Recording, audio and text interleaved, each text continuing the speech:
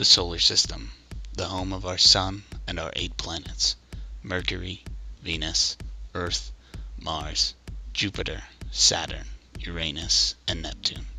Sorry, Pluto, you aren't included in this list, but we will get to why later in the video.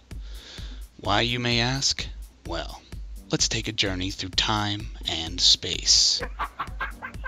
Yes, space. Anyway, we are going to see how the solar system formed. Well, anyway, focus on that device you are watching this on, because things are about to get interesting. Let's just see what this nerd has to say. That isn't nice. Just narrate this. I already got my popcorn, dude. Well, anyway, in the beginning of our little system of planets, there was a little lonely cloud like figure. This cloud had some certain characteristics that were perfect for making our little solar system. It was made of about 98% hydrogen and helium gas, which is what makes up most of the sun. 1.4% of the hydrogen compounds such as NH3 and CH4, which condense at low temperatures, which is where our gas planets come in. And finally, the remaining 0.6%, which just happens to be rocks and metals. And I'm sure you guessed it, those form at high temperatures, which explains our first four rocky planets. Anyway, back onto our main topic. What does this cloud-like thing do? And what does it have to do with our planets? I didn't ask. I was just enjoying the commentary. It was rhetorical. Silly. Oh. Yeah, The cloud-like figure is also known as a nebula, or as we call it for our solar system, the solar nebula. The nebula started to be affected by gravity, and it began to shrink. And as the nebula began to shrink and spin at a rapid speed, it caused the blob of gas to turn into a disk-like blob of gas. As the particles began to collide with each other, our sun, along with our planets, began to take shape. Well, as you know, or you will find out, that there isn't just any rocky planets like Earth in our solar system.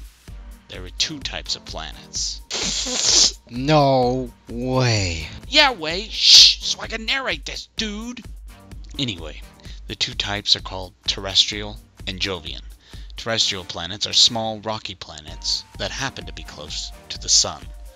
There are four of these types, and they are Mercury, Venus, Earth, and Mars. Well, what about the other four, some of you may ask? Well, those are large gas-filled planets that are far from the Sun.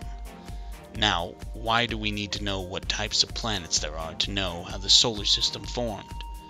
Well, it helps explain why the planets are their type of planet and why they are the way they are. Well, basically, gravity begins to form dust into pebbles, pebbles into rocks, rocks into boulders, and then into what we call a planetesimal. This is what began to slam into each other to form a huge rock, which basically explains Pluto. It wasn't big enough to be a planet, so don't cry about it. Ah, not a tear. No, no, I just have something in my eye. Uh huh. Anyway, as these planetesimals slam together, they form bigger and bigger and bigger until eventually a planet is the final product.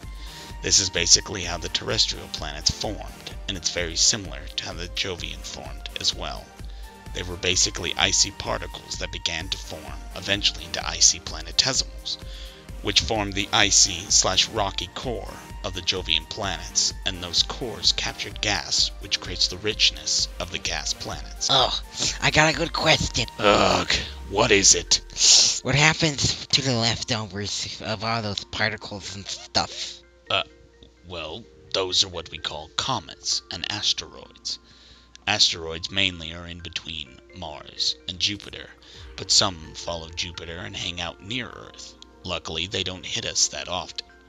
Also, we have the Oort cloud, which surrounds our solar system. That is where all the comets and Pluto hang out, or orbit, as I like to call it. Well, that's it for today's video.